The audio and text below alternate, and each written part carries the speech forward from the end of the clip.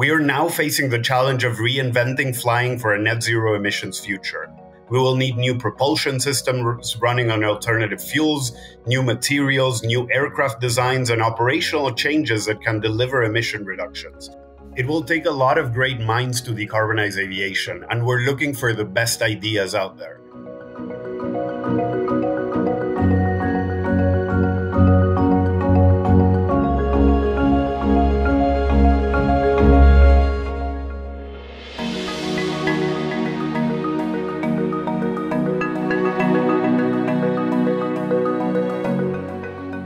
We're looking for three types of main innovations sustainable aviation fuel and other novel propulsion technologies. That's kind of the first bucket.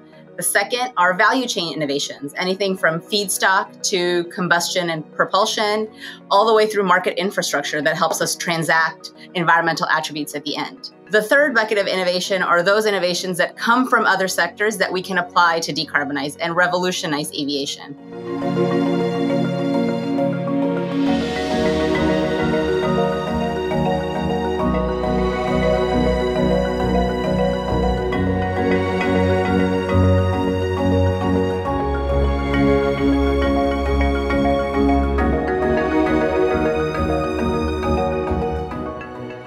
What we're really excited about is that the innovators will also benefit from the collaborations with the supporting partners, which represent some of the most innovative leaders in aviation. And that will look like things like technical support, um, business support, and financial support.